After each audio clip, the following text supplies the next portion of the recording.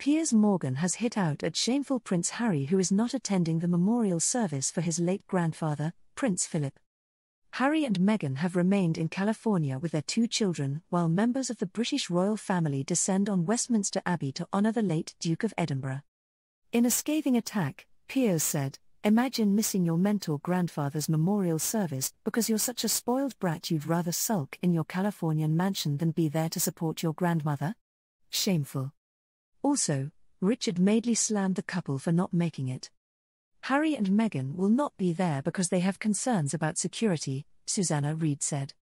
Guest Andrew Pierce then added, which is ridiculous, because he will be in the bosom of the royal family today and there will be security people everywhere.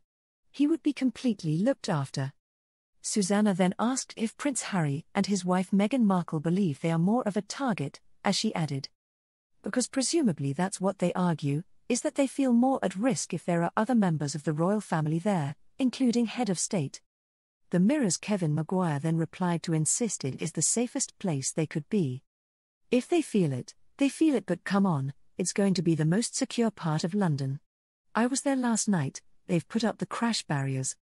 If you're looking for a police officer today, just go around Westminster Abbey, you'll find ranks of them, he added.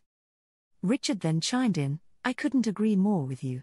What is he playing at? Moreover, his sister in law Samantha Markle said Harry is ridiculous as he can afford security.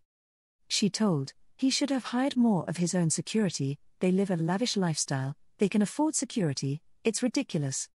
Security for a weekend of something is not that expensive, and I'm pretty sure they have security now.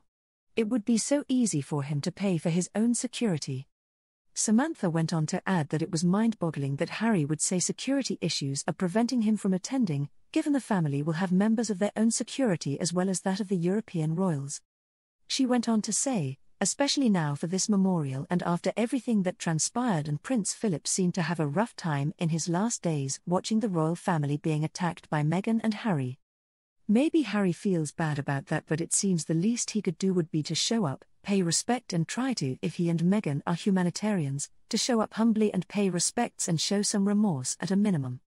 Not to mention the fact, Prince Philip was his grandfather, but Harry has been in service. Prince Philip served in World War II, not only to honor him as his grandfather but also a military figure, who is noted for great service, is highly disrespectful.